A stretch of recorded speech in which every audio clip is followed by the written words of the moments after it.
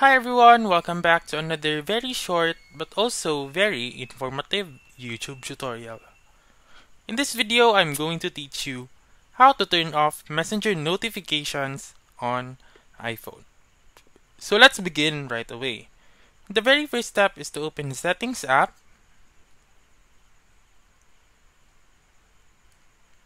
and then scroll down until you reach notifications. Click on notifications and scroll down again and look for the messenger app.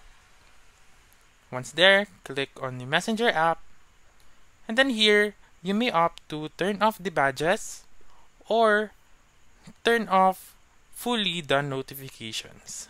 To do this, make sure to turn off the allow notification section and then that's it.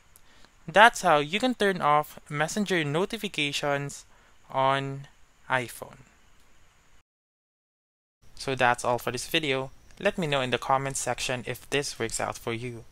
For more helpful tutorials like this, please subscribe to our channel and don't forget to click that notification bell. Thank you for watching and have a wonderful day.